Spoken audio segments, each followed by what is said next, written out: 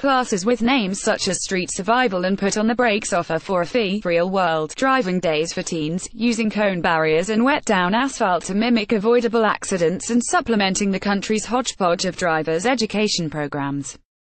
The courses emerge as the National Highway Traffic Safety Administration reported 1,886 drivers between the ages of 15 and 20 died in motor vehicle crashes in 2015, the latest available numbers, which was 9% a year before. Another 195,000 young drivers were injured in 2015, the Insurance Information Institute said. At the same time, teen and 20-year-old drivers made up 9% of motorists involved in fatal crashes in 2015, even though they accounted for just 5 to 6% of total drivers nationwide or about 13.2 million drivers. Organizations include the Tire Rack Street Survival Program. Sponsored by the National Discount Tire Seller, the course employs 2,000 volunteers with the BMW Car Club of America. Sports Car Club of America, the National Corvette Club of America, the Porsche Club of America and additional car enthusiasts, who serve as the personal coach with each team, Tire Rack said. The program hosted its 1000th class in 2017 and are looking to make this year the fifth consecutive season with more than 100 classes hosted. Tire Rack noted that 20% of deaths among vehicle passengers of all ages occur while a teenager is driving.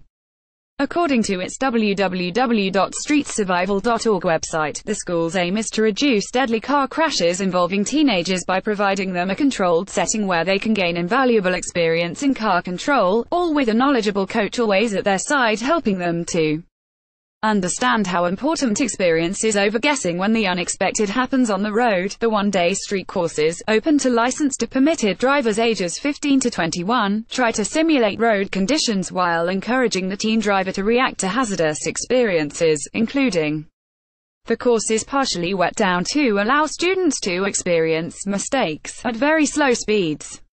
In this class, mistakes are learning experiences, Tire Rack says. Challenging driving courses are set up in a controlled area so teens can feel what abnormal car behavior is like and then teach how to handle the new situation. Rather than a course to learn how to drive at high speeds, safety and car control are the goals. The school emphasizes a hands-on driving experience in which the students use their own cars to understand the handling limits and how to control them. Qualified coaches are in the car with a student throughout the entire day, according to Tire Rack.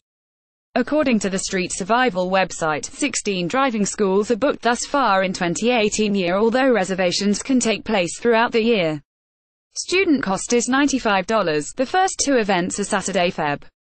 10 at Cumming Fairgrounds in Cumming, Georgia, with Peachtree Chapter BMW Car Club of America the organizer, and Michelin's Laurens Proving Grounds in Mountville, South Carolina put on by Sandlapper Chapter BMW Car Club of America.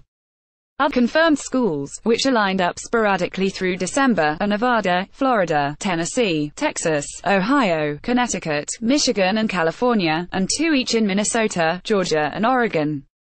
And the Young Motorist Safety Course is BRAKES. Teen Proactive Driving School. The free, defensive driving program is geared students aged 15 to 19 who already have a learner's permit permitted driver's license and have at least 30 of driving experience. So far, eight schools are lined up at motor speedways, Fairground in North Carolina, Georgia, and California. Visit https colon slash slash putonthebrakes.org. Teen driving courses are taking place in a motoring environment in which driver's education typically isn't a part of the high school curriculum.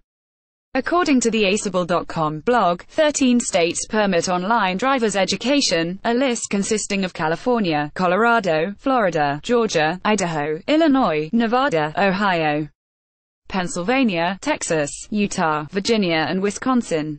According to information compiled by the Washington state legislature, driver's education requirements for 14 to 18-year-old range from 22 hours of formal classroom training and 8 hours of behind-the-wheel training to get a license in Connecticut to no driver's ed requirement Arkansas.